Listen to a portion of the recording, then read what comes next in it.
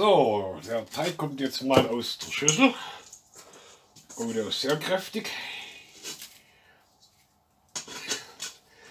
Ich tue eigentlich immer gerne äh, ein bisschen Papier mit auf die Arbeitsfläche, was dann den Vorteil hat, dass man deutlich weniger putzen muss. Dann ganz noch ein bisschen einwählen.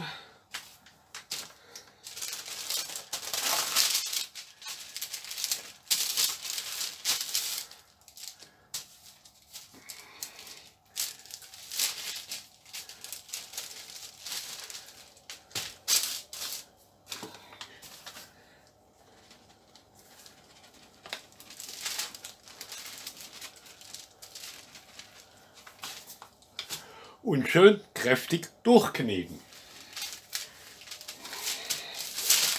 So dass die Zwiebel sich gleichmäßig in dem Teig verteilen.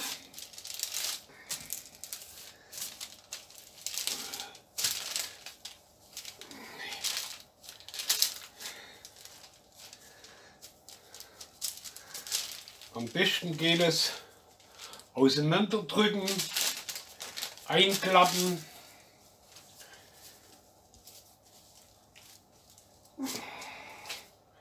Wieder auseinanderdrücken, einklappen.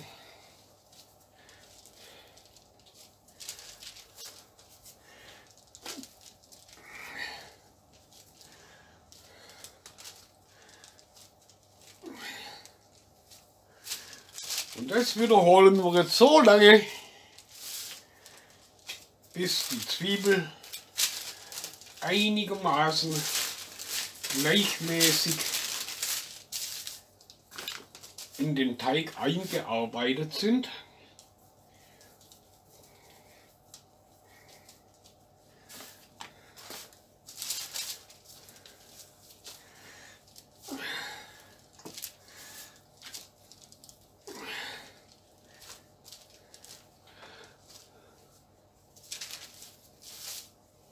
Hier könnt ihr auch sehen, hoffe ich zumindest, wie die Zwiebeln schön in dem Teig drin sind. Sind auch eine ganze Menge.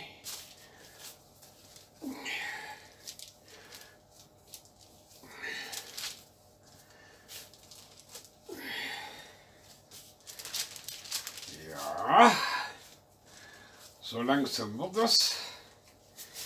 Jetzt geben wir dem Ganzen auch noch ein bisschen eine Brotform. Kommt natürlich wieder in meinen gusseisernen Topf, der übrigens jetzt natürlich noch knalle heiß ist,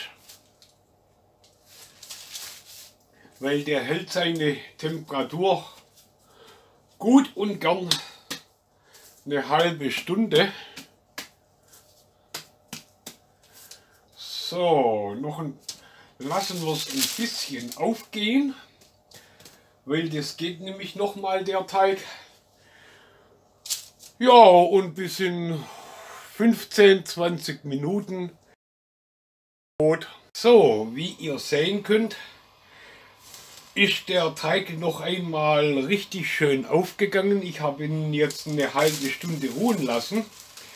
Ja, jetzt wollte ich es euch einfach noch mal zeigen, wie lecker das aussieht. Ich hoffe, man sieht es so einigermaßen.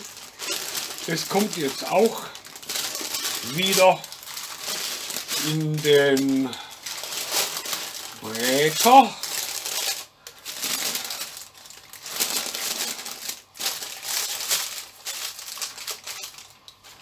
Na.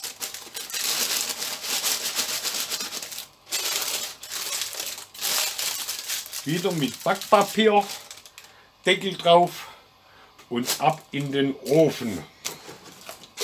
Sieht nicht schön aus. Aber zu was haben wir denn eine Schere, ne?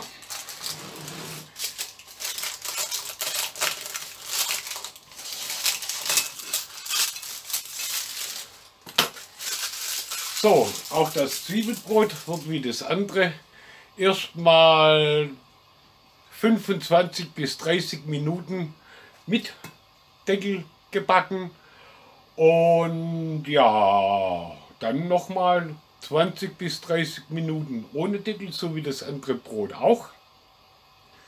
Und wenn es fertig gebacken ist, habt ihr ja gesehen, wie es aussieht beim anderen Brot. Äh, das übrigens immer noch schön heiß ist.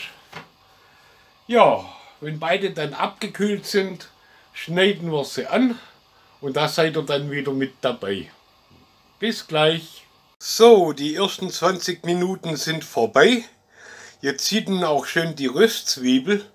Da muss man jetzt natürlich beim offenen Deckel darauf achten, dass sie nicht verbrennen. Also immer ein bisschen im Auge behalten und nun kommt das Brot für weitere 20 Minuten in den Ofen. Ich denke, ich werde die Temperatur auf 150 bis 180 Grad zurückdrehen. Lieber ein paar Minuten länger als zu heiß und die Zwiebeln würden dann verbrennen. Das wollen wir ja nicht. Dann bis gleich, bis das Brot fertig ist. So, auch das Zwiebelbrot wäre jetzt fertig. Das nehmen wir raus und lassen es abkühlen. Und wenn es dann abgekühlt ist, schneiden wir beide Brote mal an und schauen, wie sie innen aussehen. Aber normalerweise ging das noch nie schief und drum denke ich auch, dass es hier wunderbar klappt. So, beide Brote sind nun abgekühlt. Jetzt machen wir mal den Anschnitt, um zu gucken, wie sie innen aussehen.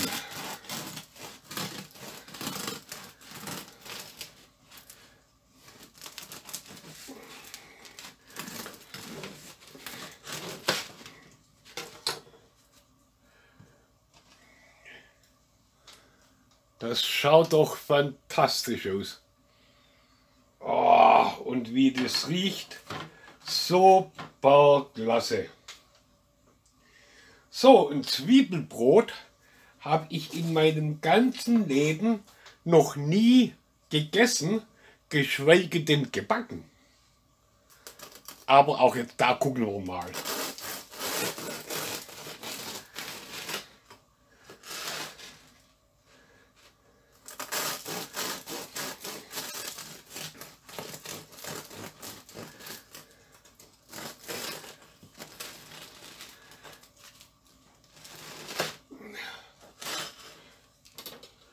Wow. Wow.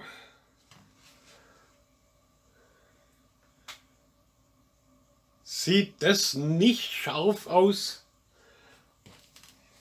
Gleich mal probieren. Weil wie gesagt, ich habe das noch nie gegessen. Mmh.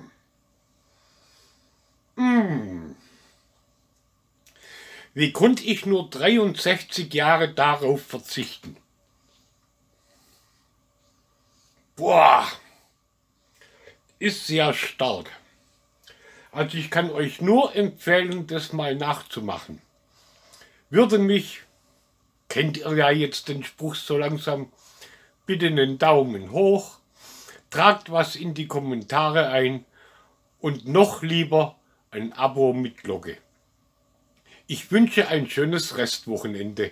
Ciao, euer Küchenchaot.